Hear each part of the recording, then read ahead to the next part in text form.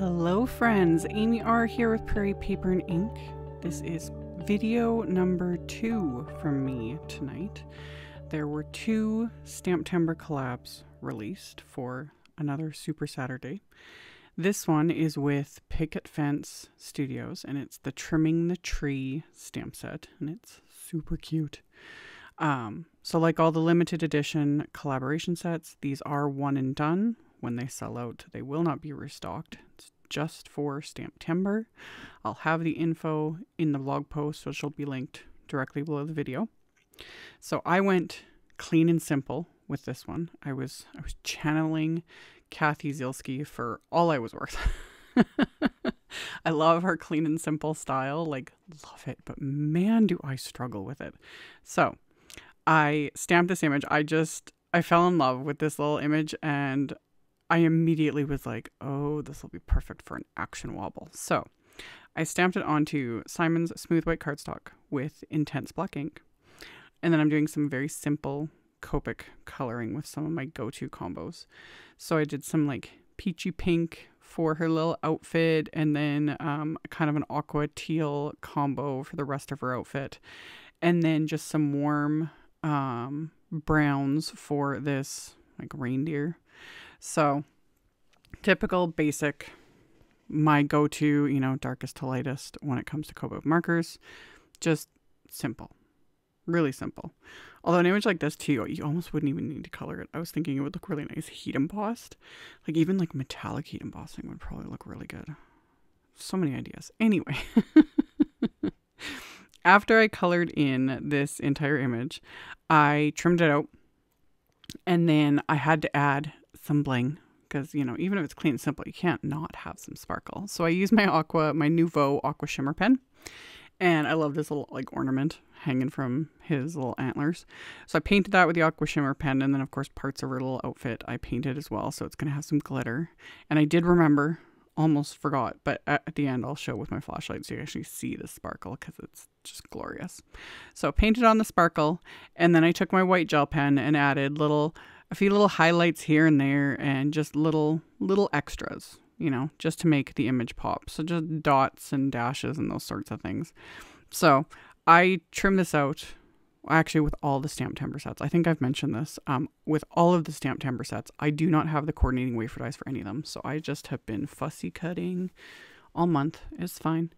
Um, all these sets do have coordinating the option to get it with coordinating die set or just the stamp set as well or like alone. Um, the ones with coordinating dies have been just flying this year. Like, wow. That's all I have to say. Anyway, for my background, again, keeping this clean and simple, I pulled out my oldie but goodie all time favorite. This is Simon's Falling Snow stencil. And I actually had to check the packaging. This came out almost a decade ago. This is one of my first purchases, I think. Well, not one of my first purchases, but one of my I remember like wanting the stencil so bad when Simon released it again, like 10 years ago. That's so crazy. It's still available, still one of my faves.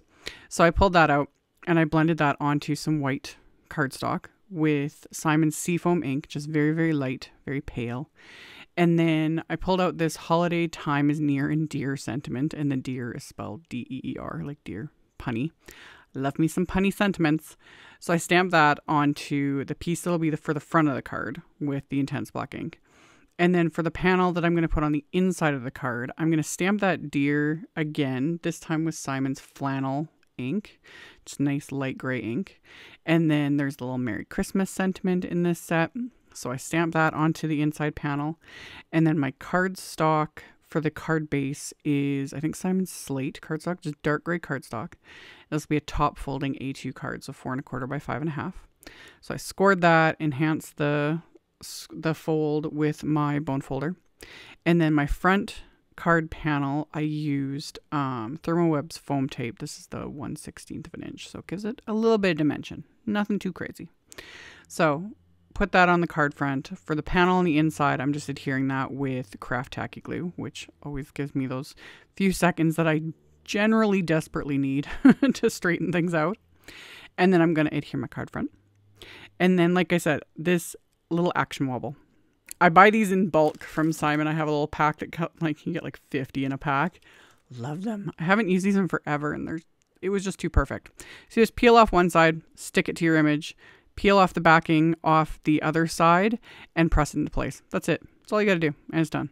And these flatten out perfectly so it, it'll go flat in the mail and I'll show that at the very end too. And then he's wobbly and it just I love it. You know, I, I love simple little things like this. It's like such a fun way to zhuzh up your cards, but it doesn't require a ton of effort or thought. so I added bling, of course, too. I have my Studio Katia iridescent ice flakes. These are a favorite when I'm making like winter theme, holiday cards, etc.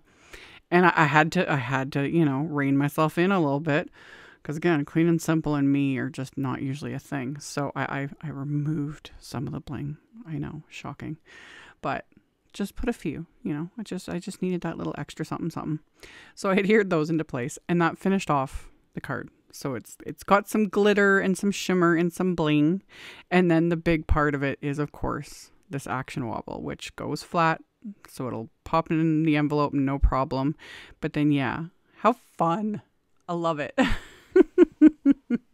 like I could seriously sit here and play with this all day. I don't know what it is about action wobbles, but I've always loved them. So, like I mentioned earlier in the video, the stamp set, the trimming the tree stamp set from Picket Fence is a limited edition collaboration.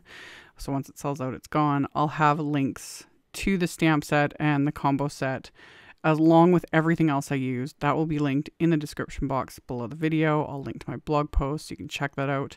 And like I said, this is video two from me tonight. So I do have um, another one with the other collaboration sets. You can check that out on my channel if you haven't seen it yet.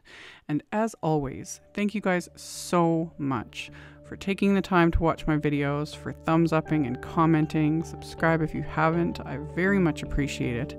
And I will see you all very soon in the next video. Bye.